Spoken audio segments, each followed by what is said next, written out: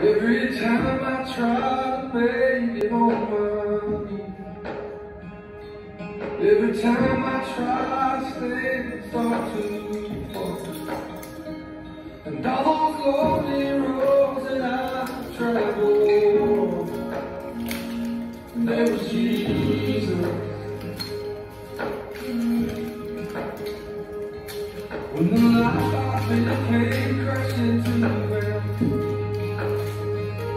When the friends I had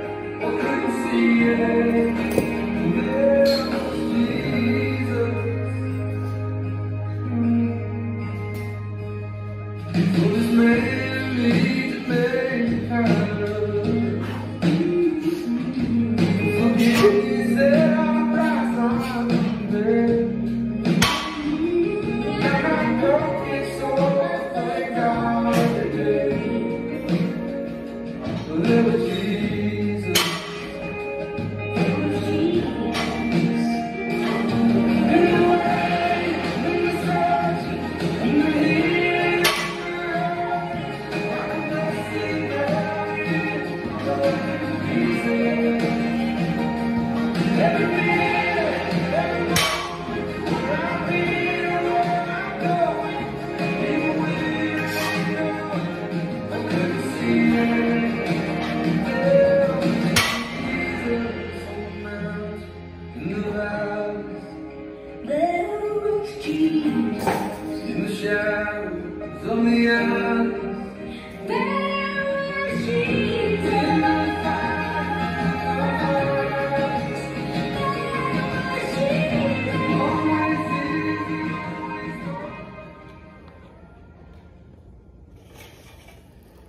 All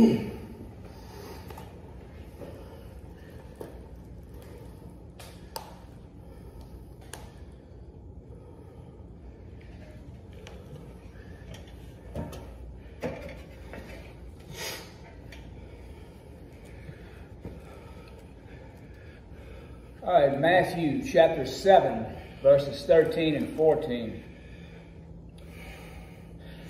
Jesus says, Enter through the narrow gate, for wide is the gate, and broad is the road that leads to destruction, and many enter through it. But small is the gate, and narrow is the road that leads to life, and only a few find it. So, Jesus is giving us a picture here of a funnel. If you enter the funnel at the big end, it keeps narrowing down until you come to death, destruction, and hell. But if you can enter the funnel at the narrow end, that's where Jesus is. He is the way, the truth, and the life. Amen. That's 100% correct. I'm going to read out of John chapter 10, verses 7 through 10. Therefore, Jesus said again, I tell you the truth, I am the gate for the sheep. All who ever came before me were thieves and robbers, but the sheep did not listen to them. I am the gate. Whoever enters through me will be saved. He will come in and go out and find pasture. The thief comes only to steal and kill and destroy. I have come that they may have life and have it to the full. You know, there's a lot of these so called celebrities, and they're asking the question is there really only one way to get to heaven? Well, the short answer yes.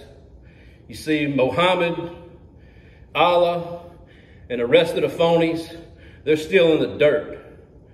And there's only one who defeated death, and that was Jesus.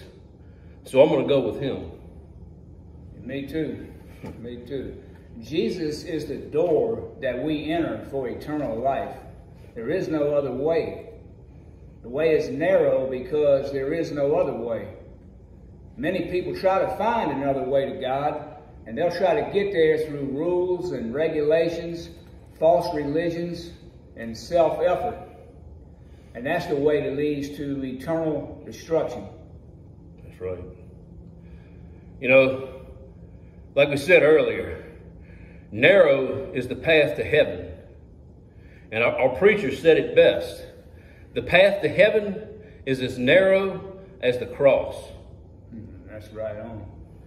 You see, we're trying to present Jesus to you. He is the living Savior, the King of Kings, the one that was nailed to a cross and died in your place and rose again, that you might have life if you believe on Him. If you feel Him speaking to you now, make that decision to trust Him because tomorrow may never come. Amen. That's right. I'm going to go over what we've said, put it in a nutshell.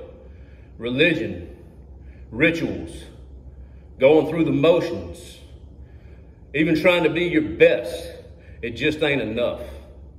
You must believe in Jesus and ask Him to be your Lord and Savior. You see, Jesus is the way and the truth and the life, and no one, celebrities included, comes to the Father except through Him. End of discussion. This is truth. We'll see you on the next video.